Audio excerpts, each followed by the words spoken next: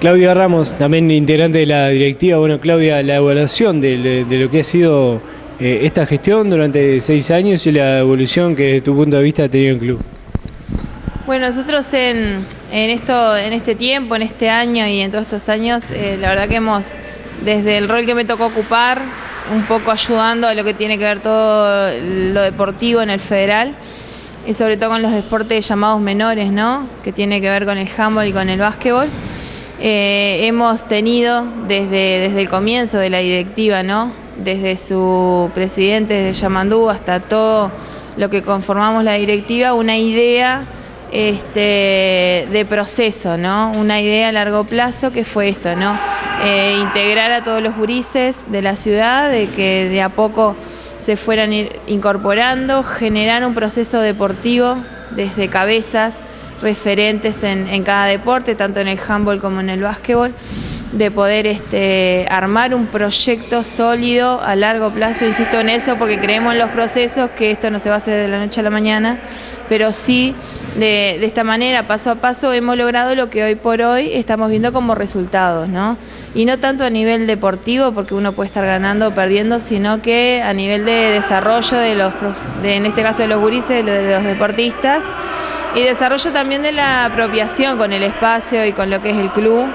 sumándose los padres, sumándose una comisión de padres, eh, una comisión del federal que está integrada por padres y por gente amiga que quiere bien al club y que se está arrimando y que eso para nosotros es un gran este, apoyo y es nuestra idea también, ¿no? Como forma de integrar a la familia y de que esto sea un, eh, un, este, un camino de que se pueda sustentar el proyecto que no dependa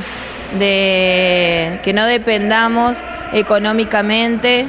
y que podamos nosotros sin generar deudas eh, podernos mantener y esa es la idea que tiene el club en todas sus, sus áreas que también es un proyecto, es una idea que, surge desde la política del club. Y eso trasladarlo a todos los deportes, no solamente al federal, que es lo que estamos intentando y lo que se está logrando de a poco. Y se ha logrado también consolidar este, nuevas disciplinas, ¿no? En todo este proceso que mencionabas vos, en este espacio que también ha sido remodelado.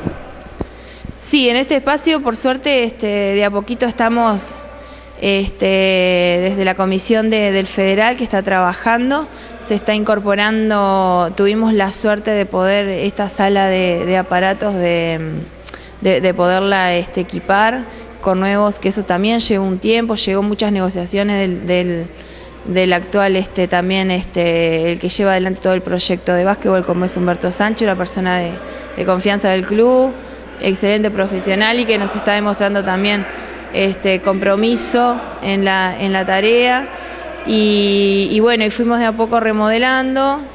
y se fueron sumando muchos más este, logros en el sentido este de, por ejemplo, ¿no? Eh, los equipos eh, viajando ¿no? al exterior que fue un, gran desde el principio quizás del proceso lo veíamos muy lejos, pero ahora se está haciendo, tanto con los grandes como con los chicos, viajes a Buenos Aires, bueno, y eso da también una, eh, a nivel deportivo, da mucha este, ventaja a nivel deportivo poder salir también, ¿no? Y poder este, confrontar otros, otros cuadros, otras realidades deportivas. Y bueno, y en esa línea de proceso estamos.